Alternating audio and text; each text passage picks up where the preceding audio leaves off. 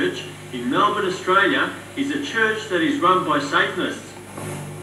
Now, when I stated that these two men, Chris Fields and David Cartledge, have been put forward by demons to lead Christians astray, I was not exaggerating in what I was saying. On the Melbourne Alive program, when asking the question as to where God is moving in Melbourne, they direct their viewers to go to this very church that I have just exposed where the Satanists preach. Let me just show you what they said. There are demons that are sitting on their tongues doing the talking here.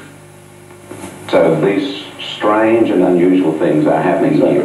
Now, here, as far as Melbourne is concerned, then, well, having seen the churches here, where do you think uh, there's the evidence of, of, God moving in a significant way here in Melbourne? Well, in recent times we've been ministering at Richmond Assembly of God. This is the Richmond Temple Church that's yes. been there for years and years and years. Exactly. It, has, it goes right back in history, right to the very foundation. Part of our, our city heritage. Yeah? It sure is. And Pastor Philip Hills and his wife Barbara are deeply committed to revival. Their own lives have been touched.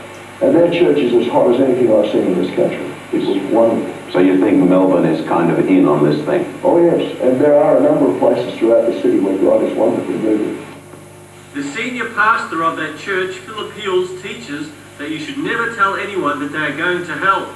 If that's not Satan's doctrine, then what is? It's the exact opposite to what the Lord Jesus Christ taught. While viewing a meeting of Rodney Howard Browne, I came across an example of him doing the sign of allegiance to Satan. Let me just show you this. Watch his right hand here very carefully and you see him doing this sign. Somebody said, well, I don't know, is this God? You can judge it by manifestation. You can never judge revival by manifestation. You can judge it by manifestation. You can never judge revival by manifestation. Here it is again. Watch it carefully as I move the picture frame by frame.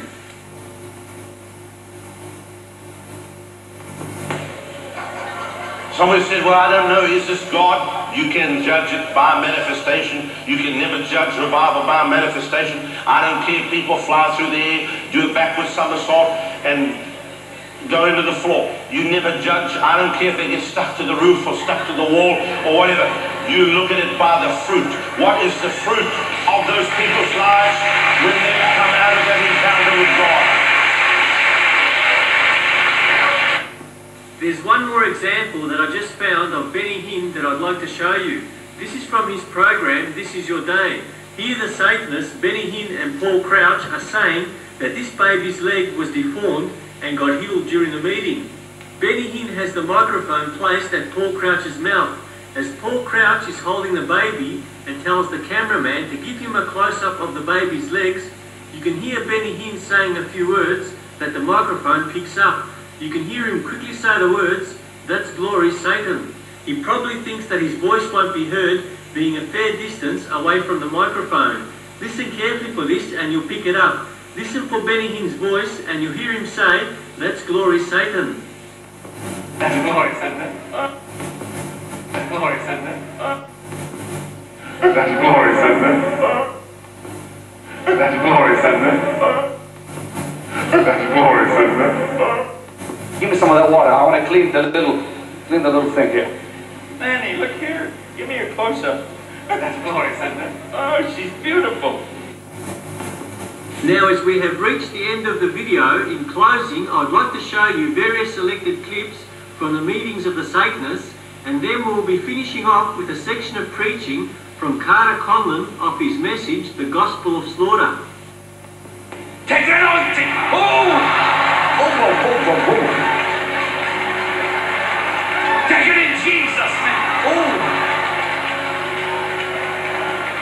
That's power here, people. I want you to lift your hands and praise the Lord. Young man, I'm not done with you, young man. God's power, man, is all over you. Lord Jesus, let him have an Elisha experience now. Whoa.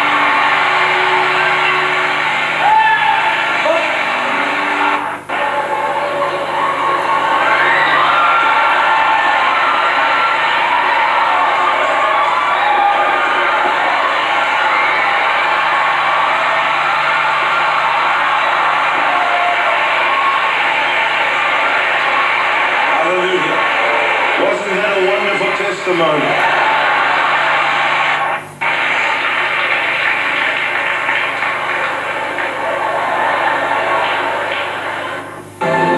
we don't have to pray for revival. We pray it begins in us. That's, it's here. Revival's here. It's always been here. We've got to pray it begins in us. You let that joy begin to bubble out of your belly. People, listen to me. Listen to me. You let the joy bubble out of your belly. Not out of your head, out of your belly.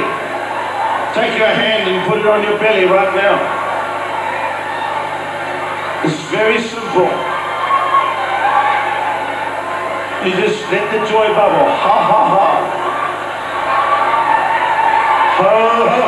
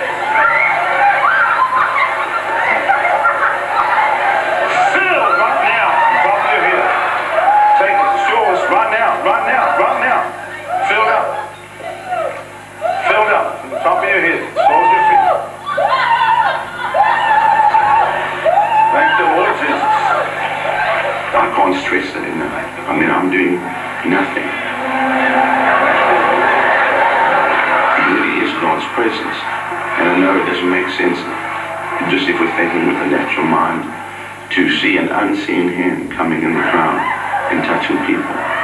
The unseen hand of the Lord is touching people and filling them with joy. After barely 30 minutes, the church resembles a battleground. As you can see, people are quite literally dropping to the floor like flies. Whether or not you believe this is the work of God or the Holy Spirit, it is a truly bizarre sight.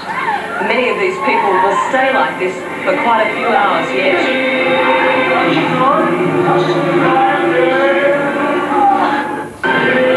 What you're seeing here is possibly the fastest growing revival in the history of Christianity. In 18 months, it spread right through mainstream and charismatic churches.